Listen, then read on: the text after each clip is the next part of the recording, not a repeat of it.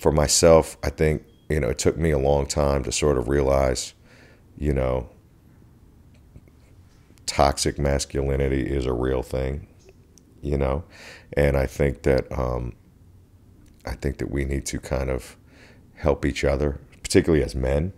We need to help each other get away from that and identify that kind of behavior and help get away from it. Yeah, You know? yeah. Because I grew up in an era where, you know, that word was used as, you know, it ain't nothing but a word to me. Yeah, you know, yeah. that's the era that I grew up in. Yeah. You know. And I grew up where it was perfectly acceptable. You know, it was perfectly acceptable to use that word in front of other women. You know, and uh, and um, it, it's not okay. You know, it's not okay. And I and I think But where do you learn that? You know, because I had to learn the hard way. It's like I came, I come from an environment, a generation where like that locker room hyper masculinity Totally. nomenclature is kind of like just accepted, and then Yeah. you bring it into certain environments, and you, you you you shoot yourself in the foot. Yeah. But then, you know. You know, I was talking to a friend the other day. That guy who gave me the cell phone, he was he actually. We talked about this, mm-hmm. and we're talking about like it's it's surprising that there is not a manual Mm-hmm. right? If you don't have like proper f- like father figure in your house mm-hmm. like where do you learn how to treat and talk about women?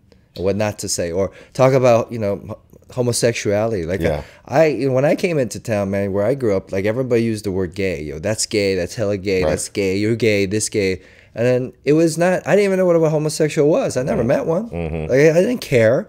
I did, there was no like you know prejudice I had, but I used it in my daily words. And then when I would meet gay people, and they would hear me talk, imagine like I think about it, the the way I I it, the change was forced on me. It wasn't because someone stopped and said, "Hey, hey man, you know you shouldn't do that," or you know that's not PC. It was really you know, I saw the effect it would have on people that cared about me, Right. and that that loved me, Yeah. and then they saw that word as like that, you know, attacking them or Mm. you know discriminating, and the hurt that that word would use, right? Yeah. I was like, no, I, I'm not that guy, Mm-hmm. and I and I sit back and I would remind, I go.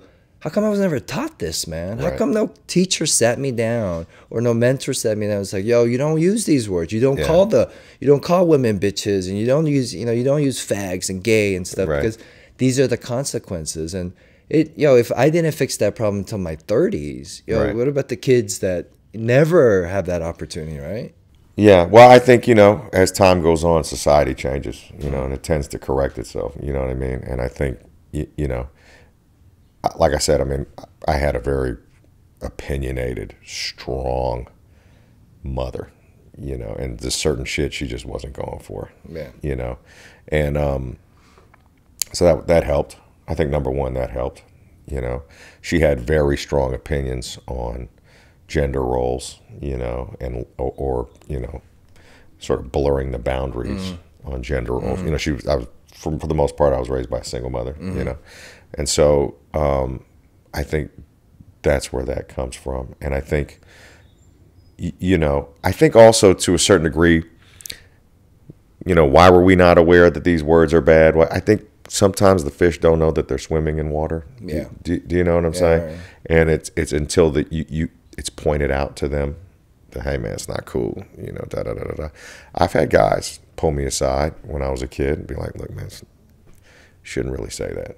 And I listen to them. Yeah, yeah. I listen to them. Yeah. You know, and I think that that's really important for, you know, um, for other men to have that discussion with men. Mm-hmm. You know what I mean? Because if you're speaking a certain way about a certain group, Mm-hmm.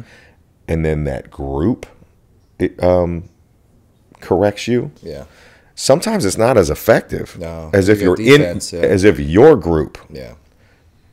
says something about it. It's like waking up a sleepwalker. Well, it is.